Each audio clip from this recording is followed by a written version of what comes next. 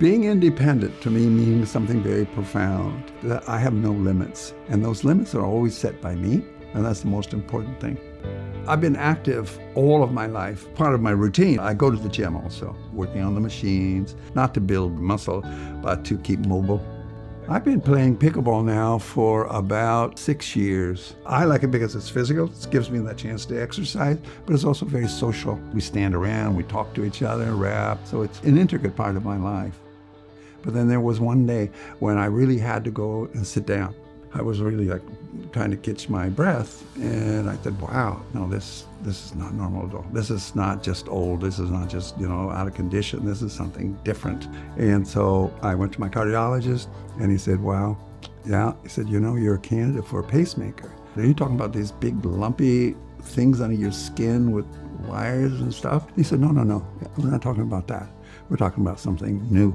He said uh, that Abbott has developed a thing called a dual chamber pacemaker, but leadless, no, meaning no wires. Non invasive, we puncture a vein in your leg.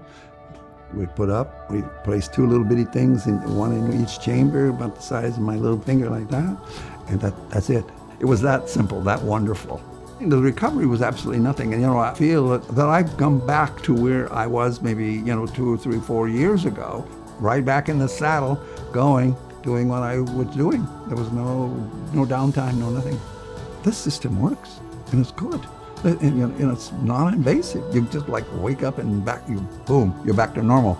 There were no wires, no leads that would restrict anything, no constraints. So I'm free to go swimming. I am free to play pickleball. I am free to do whatever I want to do at the gym or wherever. And, you know, wow. Tomorrow I will celebrate 82 years on this planet.